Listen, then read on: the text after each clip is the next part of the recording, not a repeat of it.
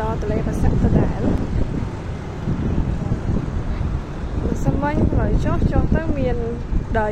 នៅអាចចុះទៅមើលគេបងស្នាញ់បងឲ្យបានថ្ងៃនេះទឹកឡើងដើម្បីលើ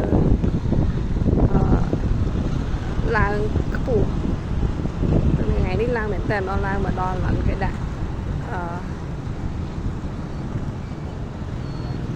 គេដាក់របាគួរថ្នាក់អី សមិចដែរសមិចដែរក៏ឡៃចោឡៃចោហ្នឹងដែរក៏ចុះតែមើលគេស្ទួយទៅសមិចចុះទៅអានេះចុះទៅជ្រៅកម្មទៀតទៅជ្រៅដែរសមិចឲ្យលើឡើងពេញអស់ហើយចុះឡើងកើតហើយអ្នកបងសំណាញ់ក៏អស់ដែរ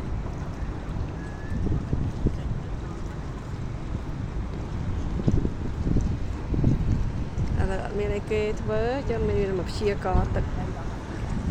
ឡើងទឹកស្រកនៅទន្លេភាសាយើងហ្នឹងឯស្ពានអស្ពានកោះនារីស្នូលស្ពានកោះនារី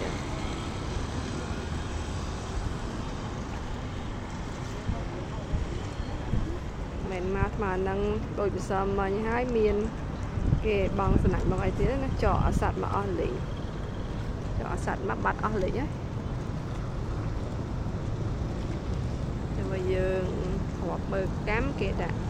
របាប្រុងប្រយ័ត្ននេះមកដល់ថ្នាក់ជាមើលស្អែកឡើងមកលើធម្មតាទៀតអត់ដូចវធនៈ2ថ្នាក់3ថ្នាក់រំដល់កម្មលើ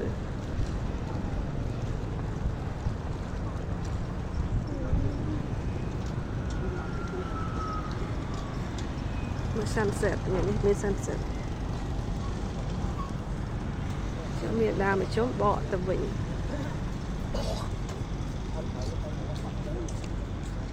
មើលទូកទៀតចាំបកទៅវិញ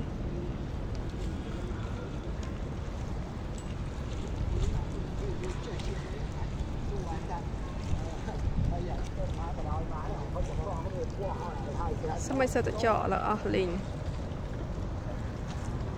ហើយ